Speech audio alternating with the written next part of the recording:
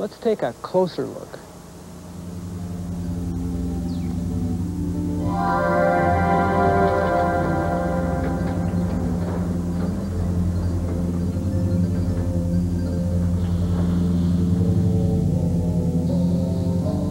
Down here, underneath this dish is like being in a different world, a completely strange place. The whole dish is supported on cables, cables that run from one side of the valley to the other side of the valley.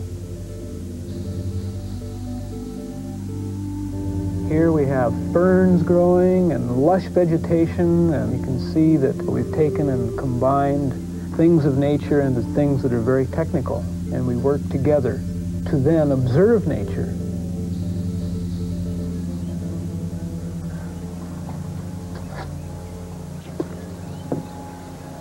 Well, here we are. This is the middle of the dish. This is 38,778 panels like this one. And it's made up of aluminum, very lightweight aluminum. As you look very closely at one of these panels, you see that it's not solid, that it's made up of very small holes. And these little tiny holes here make the panels very light and pass sunlight and rain through the panels to keep the plants happy. The surface of the dish is very thin and it bends very easily. So workmen have to use special shoes when they walk on it so that they don't damage the surface.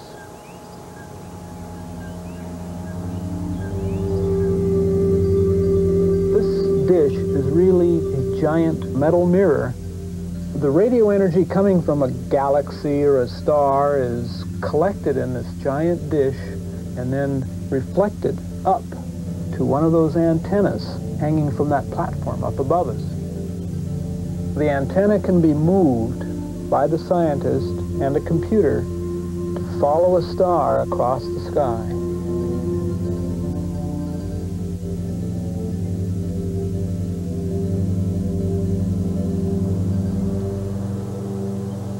All of the signals that come off that antenna out there, that giant antenna, end up right here in this very large, very complicated radio receiver. A radio receiver designed especially for scientists to use to study space. Right now, this is what space sounds look like. And if we could listen to it, this is what it sounds like.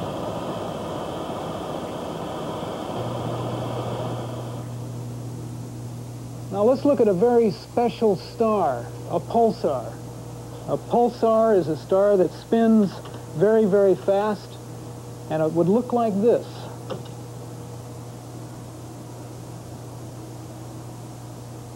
And pulsars sound like this.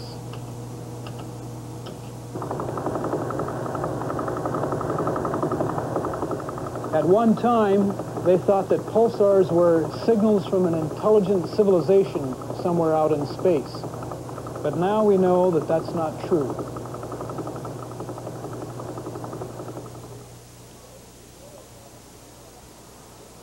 So as you can see, scientists at observatories all over the world are probing the universe in many different ways. And you out there, our operators are standing by. Just give us a call.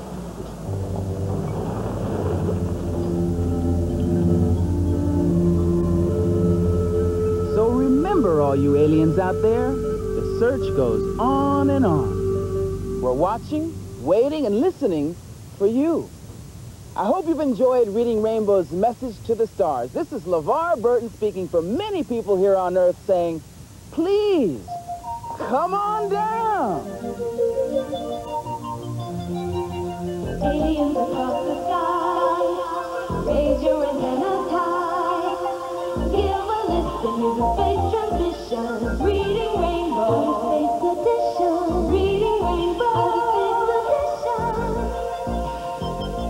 Well, I hope they liked our special show.